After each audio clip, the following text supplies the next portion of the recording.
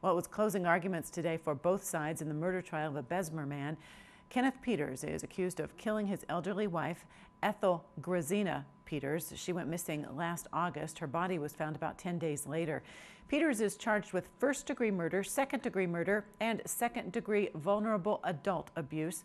He's being held in the Gogebic County Jail without bond.